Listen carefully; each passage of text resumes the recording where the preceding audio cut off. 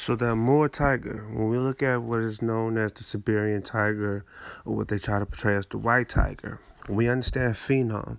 and um, the significance of dominant traits and dominant genes and recessive traits and recessive genes.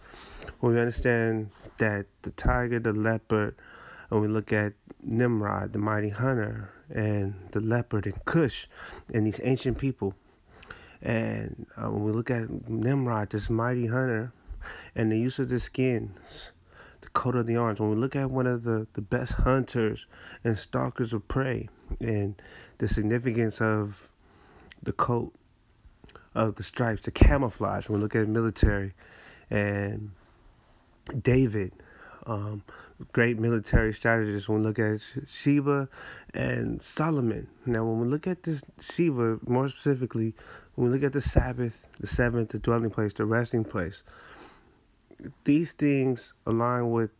the heavens, right? When we look at the naming, of people chose names or were given certain names because of the topographical topo, topographical significance of sound and the markings of landmarks to have memorials and monuments. So when we look at Bathsheba and Sheba and this ring of fire and these cats, so we understand the Queen of the South and we understand um, this bath. When we look at the bath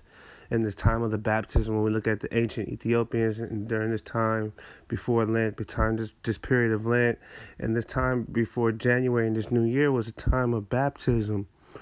in the Jordan, right? So we understand the significance of the Jordan and this ring of fire and this crossing when we see these ancient cats of this panthera of these Amur. We understand Amur,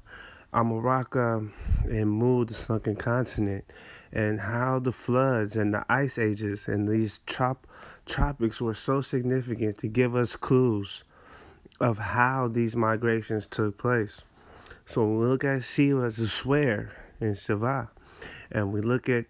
David's taking of Bathsheba and this curse that was placed upon David's son, right, with Sheba from this adultery that took place, this sin. So when we see David, he sees her on this rooftop bathing. You know, this narrative, understand the naming. More, more significantly is what I'm focused on. For this, understand her name, Bathsheba, and the meaning of the Sabbath, the dwelling place, the resting place, the dwelling place, and the Psalms 23, right? When David says, "The Lord is my shepherd; He leadeth me along the still waters. When you look at the still waters of Manoach, the resting, the dwelling place, and Sheba, Shiva, the west, the the mark, the Sabbath, and the dwelling, the resting that takes place on the Sabbath. When you look at the Pacific Ocean, it's named peaceful, resting, shalom. So even when we look at the name of Solomon and Shemesh, Shamash, and these sun deities and these sun worship, the house of the sun, this birthplace of the sun in the land of the Orient, Orion, when we understand the mighty, right, and the mighty hunter, and the skin, and the Sagittarius in this time of the ending of the Sagittarius, the marker, the archer, the mighty hunter, bullseye,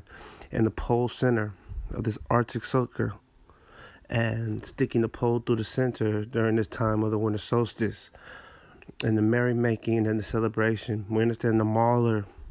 and the peace during the time of war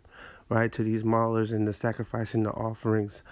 and all of these blood rituals are all connected with these ancient migrations and ancient uh, teachings of these cats being maulers in times of war and significance with the topological memorials of the earth.